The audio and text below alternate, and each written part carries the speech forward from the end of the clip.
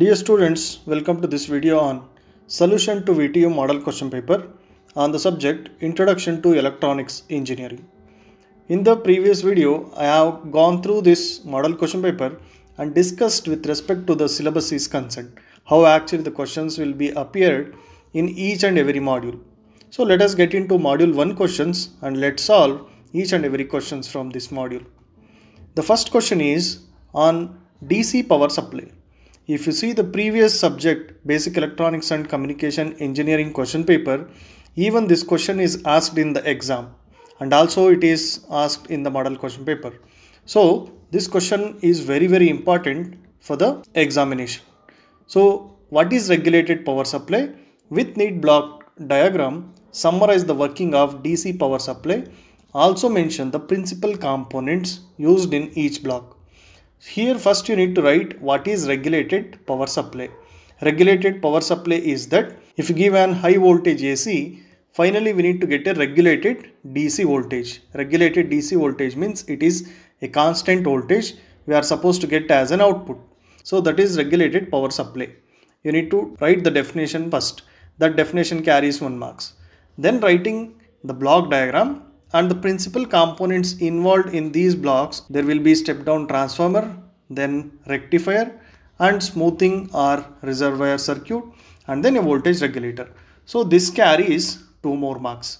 So there are two block diagrams you are supposed to write and then you need to briefly explain what this step down transformer is going to do. It will step down the voltage from high voltage to low voltage AC then this low voltage AC will be given through the rectifier circuit. Here you can say there are different types of rectifiers we have. Any one of the kind of rectifier used over here. And the output of the rectifier will be an unsmoothed DC means the rectifier output will be containing again a pulsating signal. So we need to have a filter at the output of this.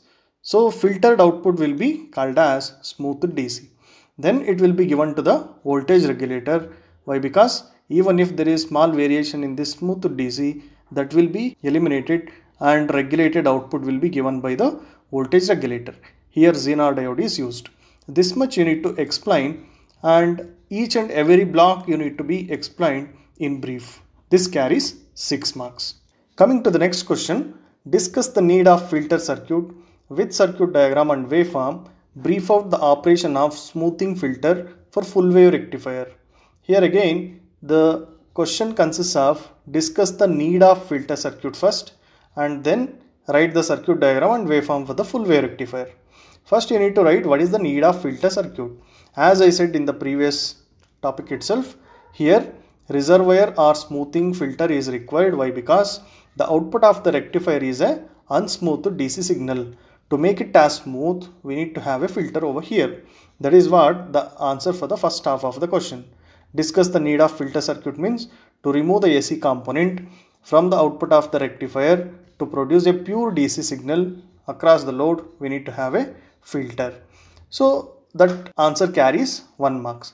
Then you need to write the full wave rectifier circuit with capacitor filter and you can draw waveform.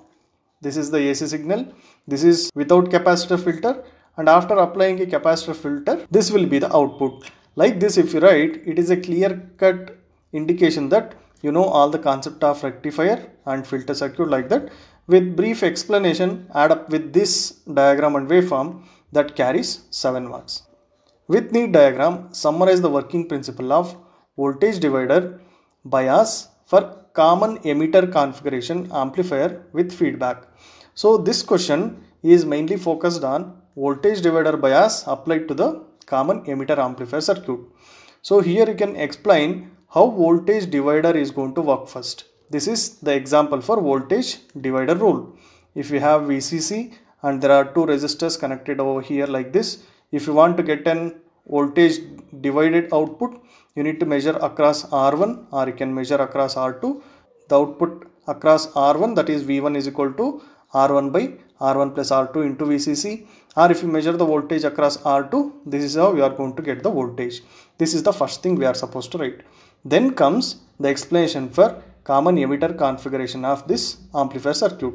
Since it is an NPN transistor you can mention over here this is NPN transistor we need to bias the transistor in such a way that minimum amount of VBE should be provided then only transistor will be on so you need to explain what is the functionality of R1 and R2 over here so that it fixes VB so for fixing VB we can write the expressions like this VB how we are going to get this and then comes how the current flowing through the transistor will be so we need to get the expression for IE and IC. Then comes voltage across the collector to emitter terminal that is VCE. Since collector terminal is the output terminal, we need to take the voltage at that terminal into account. What are the parameters contributing for VCE? This carries 7 marks. Here you need to explain the voltage divider and common emitter configuration and the biasing of this clear. Then the choice question you can answer 1A, B, C completely or you can go with 2A, B, C. So here is the choice question that is 2A. This is a problem on voltage regulator circuit. A 5 volts Zener diode has a maximum rated power dissipation of 500 milliwatts. If the diode is used in a simple regulator circuit to supply a regulated 5 volt to a load having a resistance of 500 ohm, determine the suitable value of series resistor that is RS. We need to find out. So first we need to find out RS and they have given 9 volts as input voltage that is supply. So Vin is 9 volts and load resistor they have given it as 500 ohm and also they have given the power dissipation and also they have given the voltage of the Zener diode. Here we need to use the two formulas of RS maximum and RS minimum. Why? Because they have given the power dissipation and they have given V in VZ. With those information, we can find out the maximum and minimum value of RS. After finding the maximum and minimum value, we are going to get two values for RS. So, optimum value of RS will be in between RS minimum and RS maximum. So, this is the minimum value, this is the maximum value. In between these two, we need to find one value that is the optimum value we can choose as RS. That is what the question is. I hope you already know what is RS maximum, RS minimum expressions. So after substituting, we are going to get 250 ohm and 36 ohm. So here, if you add these two, 250 ohm plus 36 ohm, we are going to get 250 plus 36 is 286. So we are going to get 286. If we take the average of these two divided by 2, if we divide, we are going to get 143. 143 ohm is our RS. You can write 143 as it is or you can nearly make it round off to 150. So we have given 150 ohm is the optimum value of RS we need to choose. Then the second question voltage multiplier. What is voltage multiplier? Mention it applications they have asked. First you need to explain what is voltage multiplier. Voltage multiplier is a circuit. It is going to multiple the voltages like if we have voltage V1 we can make this twice of V1. The voltage we can obtain as twice of V1 we call it as voltage doubler. We can multiply that voltage by 3 uh, that will be called as tripler. So likewise we need to explain and say what is voltage, the voltage multiplier this carries 1 marks and you need to explain where we are going to use these. Suppose if you want to get 3 times or 4 times the voltage or 5 times the voltage in those cases we are going to use these voltage multiplier circuits where we can increase the DC voltage with a multiplication factor like this. With circuit diagram before brief out the operation of voltage tripler circuit. This is the voltage tripler circuit what we have in our textbook. So I have simplified this in this way so that it will be easy for the understanding. Diode D1, D2, D3 are placed like this. C1, C2, C3 are placed like this. So if you apply the Kirchhoff law here, you are going to get the voltage across C1 and C3 measured as 3 Vm. You need to take three iterations, this loop once, this loop once and this loop once so that you are going to get 3 Vm as the voltage across C1 to C3. So this you need to explain in voltage tripler circuit. Then illustrate how BJT is used as a switch.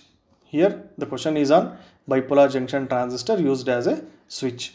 So as we know BJT operates in three regions. One is cutoff region in cutoff region BJT will be completely off it will be in saturation region in saturation region maximum current will flow in active region the transistor will be act as amplifier.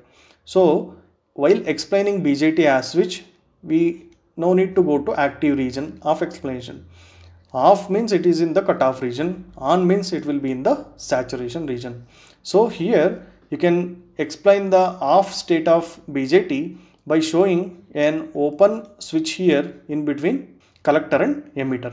Collector to emitter there is no current flow means it is off state where VBE will be 0 means we are providing 0 volt from the base. Here it will be like we will be having a tap like this where the controller will be base. This is the base. So this is emitter or collector or you can interchange these two. When we are going to provide the voltage from the base then only there will be current flow in between collector to emitter. That condition will be called as saturation region. When base voltage is 0, we are applying 0 volt as the base voltage, there is no VBE, that's why there is no current flow in between emitter to collector or collector to emitter. This is how we can explain the switching operation of BJT. This carries 6 marks. Unit explains it is a it has a open switch and also it has a closed switch so that it will be splitted as 3 plus 3 marks for 6 marks. So you can refer introduction to electronics engineering playlist, basic electronics playlist and for the second and third modules you can refer digital electronics playlist also. This is about the model question paper solution for module 1 questions. In the next video let's see module 2. Thank you.